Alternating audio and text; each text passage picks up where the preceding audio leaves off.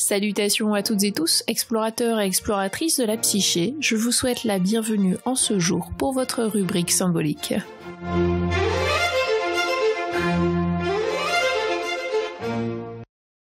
Introduction à la psychanalyse jungienne. Avant de vous parler donc de la psychanalyse, petit avant-propos sur le personnage en lui-même, qui est Carl Gustav Jung.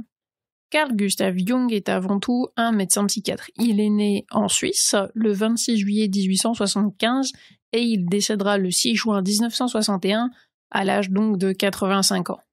Il est le fondateur de la psychologie analytique, auteur de nombreux ouvrages. Jung a consacré sa vie à la pratique clinique et à l'élaboration de théories psychologiques, notamment avec le célèbre Sigmund Freud et bien d'autres scientifiques comme Wolfgang Pauli, qui est un physicien autrichien connu pour sa définition du principe d'exclusion en mécanique quantique.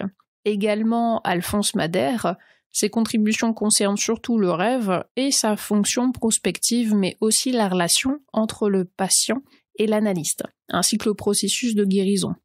Collaboration avec la grande Marie-Louise von France, élève et collaboratrice de Jung, membre fondateur de la psychologie analytique et encore Emma Jung, née Emma Rochenbach, psychologue conférencière et écrivaine. Son ouvrage de référence est Animus et Anima, que je vous recommande vivement. Nous reviendrons vers les fondateurs de la psychologie analytique un petit peu plus tard, en consacrant une rubrique dédiée à Marie-Louise von France, qui a très fortement contribué et marqué l'œuvre de Carl Gustav Jung. Qu'est-ce que la psychanalyse jungienne? Voyons ensemble son origine. Lorsque Jung décide d'explorer les contenus inconscients, il est à ce moment-là en pleine période d'incertitude, voire de désorientation. C'est juste après la rupture avec Freud. Durant une lecture de mythologie, Jung reconnaît le délire d'un de ses patients hospitalisés, trait pour trait et mot pour mot. Il s'agit du mythe du dieu Mitra, combattant le taureau. C'est un mythe qui est apparu probablement pendant le deuxième siècle avant Jésus-Christ en Perse. Jung traduit immédiatement que son malade, qui était un cordonnier plutôt inculte, ou en tout cas n'ayant pas un accès à ce mythe, ne pouvait pas l'avoir fourni seul. Mais c'était bien là un message de l'inconscient de cet homme. L'inconscient de la névrose tel que le définit Freud est bien là, mais il n'y a pas que celui-là, il y a un autre, plus profond, plus lointain, plus archaïque. C'est un moment de clarté au cours duquel se déroula devant ses yeux le chemin qu'il avait jusque-là parcouru. Tu possèdes maintenant une clé qui te permet de pénétrer dans la mythologie et tu as la possibilité d'ouvrir toutes les portes de la psyché humaine inconsciente. Jung continue son travail avec ses patients, se mettant à leur écoute sans préjuger de ce qu'ils allaient lui rapporter. Il a paru qu'ils racontaient spontanément leurs rêves et leur imagination. Il leur posait quelques questions comme Qu'est-ce que cela vous évoque? Et les réponses et les associations que fournissaient ses patients l'amenaient à une interprétation qui découlait d'elle-même. Il laissa de côté tout ce qui était perspective théorie et aidait simplement les patients à comprendre leur image par eux-mêmes. Parallèlement, Jung retranscrit son expérience intérieure par le biais de ses imaginations et ses rêves. C'est ce qui va constituer la matière première originelle de son travail scientifique. Il dira plus tard J'avais compris que tant d'imagination nécessitait un terrain solide et que je devais tout d'abord revenir entièrement dans la réalité humaine. Cette réalité pour moi était la compréhension scientifique. Il me fallait tirer des conclusions concrètes et des connaissances que l'inconscient m'avait transmises, et cela devient la tâche de ma vie et son contenu. C'est dans ce monde d'images inconscientes que Jung va plonger volontairement en toute conscience et en ramener ce qu'on appelle aujourd'hui la psychanalyse jungienne. Il va rencontrer les mêmes images qui plongent le malade mental dans une confusion inextricable, mais qui est aussi la matrice de l'imagination créatrice des mythes, imagination avec laquelle notre ère rationaliste, nous explique Jung, semble avoir perdu le contact. Certes, l'imagination mythique est partout et toujours présente, mais elle est tout aussi honnie que crainte et cela semble même une expérience bien risquée ou une aventure douteuse que de s'abandonner au sentier incertain qui conduit dans les profondeurs de l'inconscient. Chez Freud, bien que l'inconscient apparaît, au moins métaphoriquement, comme sujet agissant, il n'est essentiellement que le réceptacle de ces contenus oubliés et refoulés et n'a de valeur pratique qu'en fonction d'eux. Selon cette manière de voir, il est par suite de caractère exclusivement personnel, bien que Freud ait déjà clairement discerné le mode de pensée archaïque et mythologique de l'inconscient. Une couche superficielle de l'inconscient est sans aucun doute personnel. On l'appelle donc inconscient personnel. Mais celui-ci repose sur une autre couche plus profonde qui ne provient pas d'expérience ou d'acquisition personnelle, mais qui est innée. Cette couche plus profonde, Jung va la désigner par inconscient collectif. Or, pour Jung, on ne reconnaît l'existence psychique que par la présence de contenus susceptibles de devenir conscients. Nous ne pouvons parler d'un inconscient que si nous pouvons prouver l'existence de ces contenus.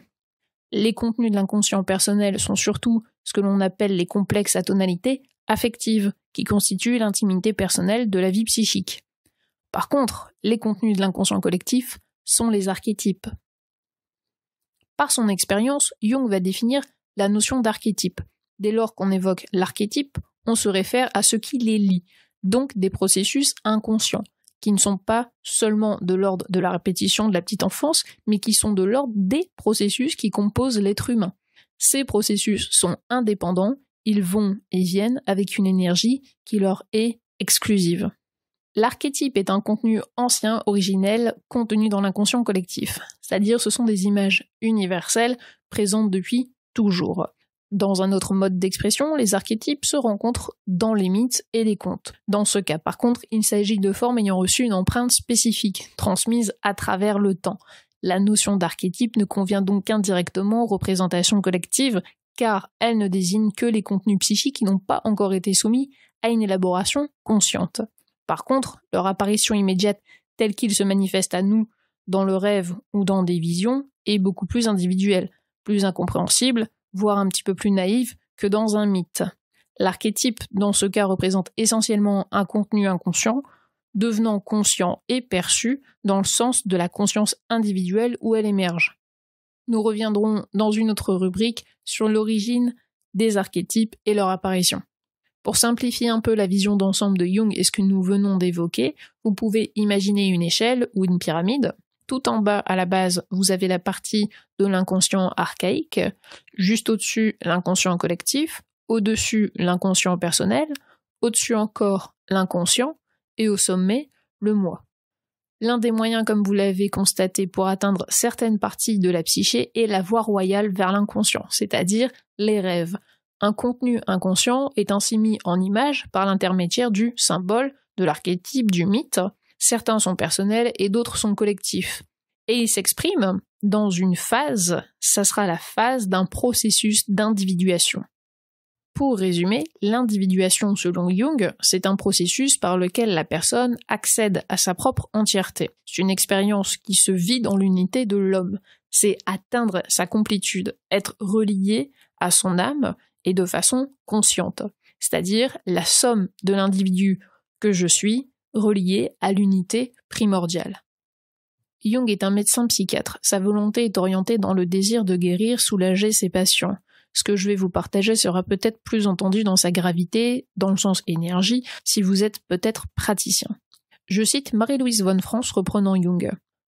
Le principal intérêt de mon travail n'est pas de traiter des névroses, mais de m'approcher du lumineux.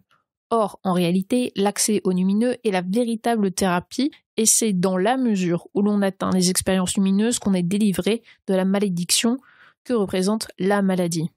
La maladie elle-même revêt alors un caractère lumineux. Cette explication est reprise par Marie-Louise von France dans son livre Psychothérapie. Elle ajoute cette citation contient l'essentiel de ce qui est une analyse jungienne. S'il n'est pas possible d'établir la relation lumineux, la guérison est impossible. Seule pourra être obtenue une meilleure adaptation sociale. Et c'est ainsi que s'achève notre introduction à la psychanalyse jungienne. Merci pour ton écoute, très cher explorateur, exploratrice de la psyché, et on se dit à très bientôt.